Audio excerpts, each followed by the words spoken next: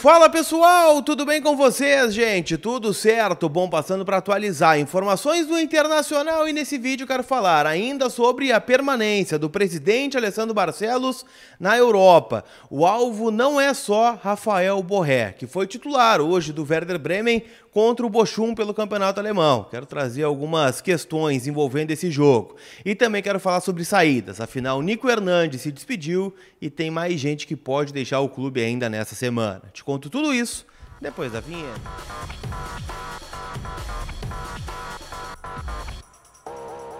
Tudo bem, gente? Vamos trocar uma ideia então? Vamos lá, né? Porque a pré-temporada do Inter tá rolando, o Inter na janela de transferências também buscando reforços, buscando a saída de jogadores, e a gente tem algumas informações para trazer para vocês, sempre em nome da Zapay, aplicativo onde você já pode quitar o seu IPVA 2024 com desconto. E mais do que isso, você pode parcelar o seu IPVA em até 12 vezes no cartão de crédito. Estou deixando o cupom COLAR20 para que você tenha 20% de desconto nas taxas do parcelamento lá na Zapay. Então baixa, o link está na descrição aqui do vídeo. Z-A-P-A-Y é o aplicativo parceiro aqui do Colar. Tá bom? Vamos falar sobre Rafael Borré. Afinal, hoje pela manhã fiz um sacrifício. Assisti a Bochum contra Werder Bremen, né? dois times da parte de baixo da tabela da Bundesliga, né? do campeonato alemão. O jogo terminou empatado em 1 a 1 Werder Bremen conseguiu um gol no finalzinho do jogo, um jogo horroroso, tá? Foi bem ruim de ver.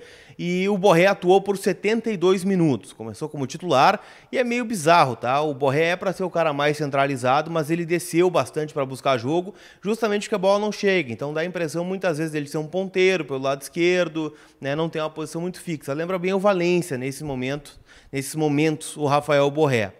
É, dito isso, tá? Nem vou falar sobre muito a situação do Werder Bremen na Liga Alemã e tal. O Werder Bremen chega a jogar agora né, o próximo jogo lá no dia 21, ou seja, no mesmo dia que o Inter estreia no Gauchão contra a Avenida, os alemães voltam a campo contra o Bayern de Munique fora de casa. Fora de casa esse jogo, se não estou enganado. Mas enfim, é, é um desafio duro, né? Mas tem um um espaço de tempo significativo, no mínimo uma semana aí para que o Borré volte a campo. E nessa semana que deve ser decidido o futuro dele. O presidente Alessandro Barcelos segue na Europa, não sei se exatamente na Alemanha, até porque a ida dele para a Europa não significou apenas a busca pelo Borré, mas outros jogadores. O Inter está no mercado buscando um zagueiro, um lateral esquerdo, um outro volante, já que o Fernando acabou indo para o Vila Nova, e um atacante. Tá? São as buscas que o Inter está fazendo nessa janela de transferências. Alguns nomes estão sendo especulados, né? O André Ramalho do PSV, é, se especulou o Paul Fernandes do Boca Juniors, é, vão surgir surgir alguns nomes essa semana, tá? Então o Inter está muito forte no mercado. Sobre o Borrell, o que falta é exatamente a mesma coisa. E é um vídeo repetido, né, que a gente vem falando, mas falta acertar a saída dele com o Werder Bremen. Afinal, não há uma taxa de transferência em relação ah, o jogador, né, o Inter planeja, né, ou planejava passar essa rodada do alemão, afinal esse jogo contra o Bochum era um confronto direto para eles na parte de baixo da tabela, e a partir daí o Inter deve ter uma novidade. Do que eu ouvi das pessoas é de que o Barcelos não quer trazer o Borré na mala só na metade do ano, afinal já tem uma assinatura de contrato num termo de compromisso do Borré com o Inter, ou seja, acabando o contrato dele de empréstimo lá no Bremen, ele viria para cá, afinal entre Inter e Frankfurt, que é o dono do passe, onde ele tem contrato até 2025 está tudo certo. E aí ele chegaria ao fim do empréstimo. Mas o Inter quer um time para agora. Né? O Barcelos está muito focado em fazer um time para agora, justamente para não repetir os erros que cometeu nos últimos três anos de gestão, montando um time na metade do ano. Então, essa semana é a derradeira. Né? Ou vai, ou racha. Ou vem agora, ou vem na metade da temporada. Eu ainda sigo apostando que ele chega em janeiro aqui no Colorado. Lembram lá atrás que eu falei para vocês? Dia 18 era quando o Inter gostaria de ter todos os reforços aqui em Porto Alegre. Falta pouco, né? Hoje, dia 14 de janeiro.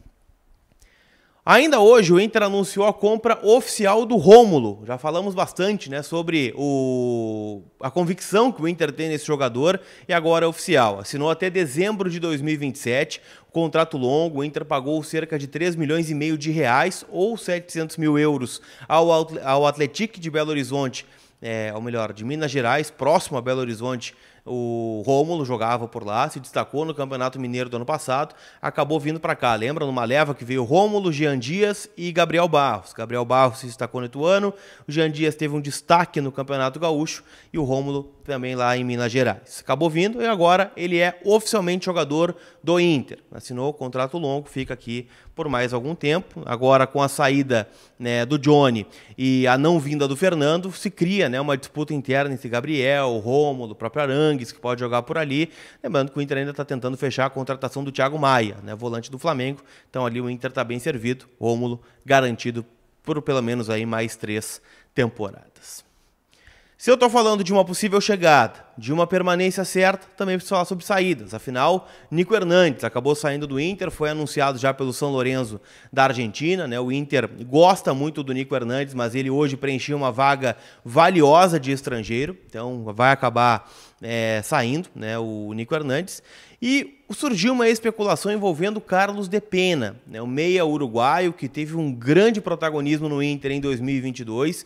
Em 2023 chegou a começar muito bem o ano, mas acabou terminando de uma maneira discreta. Foram 50, 54 jogos na temporada, 5 gols marcados e 7 assistências do de Pena.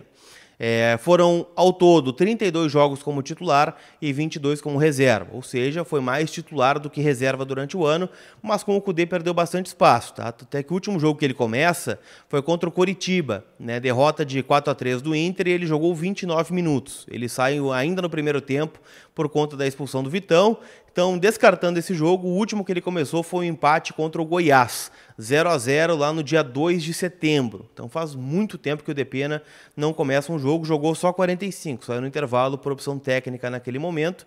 Ainda teve um jogo aqui contra o Fortaleza, derrota de 1 a 0 onde ele também começa e sai no intervalo. Então não teve um bom momento o Depena.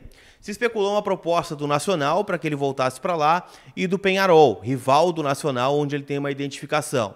E o empresário do jogador tem dado algumas entrevistas se manifestando dizendo que o Depena quer ficar no Inter, mesmo com concorrência, mesmo com limite de estrangeiros, porque entende que ele pode recuperar o futebol que já mostrou em outro momento aqui no Beira-Rio.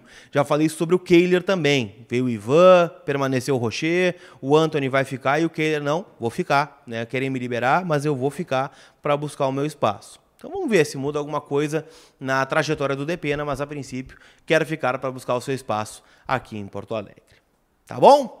Não esquece de passar na KTO, kto.com, te registra para dar aquela brincada, o código é colar. Tá rolando a Copa Africana de Nações, amanhã tem Senegal e Gâmbia, tem Camarões e Guiné, tem Copa da Ásia também rolando, torneio de seleções com Coreia do Sul em campo, Indonésia contra Iraque, tem vários jogos para você palpitar e se divertir, além das principais ligas na Europa. Tá bom? Aquele abraço e a gente se vê. Fui!